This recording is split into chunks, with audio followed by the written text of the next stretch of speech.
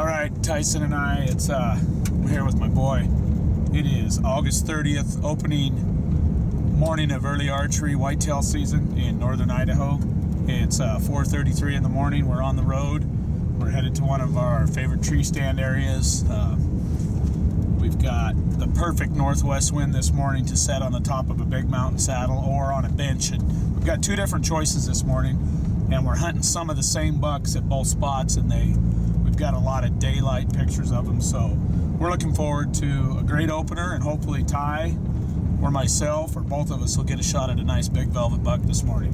Whitetail Addictions TV, uh, kicking it off 2014. Troy Pottenger.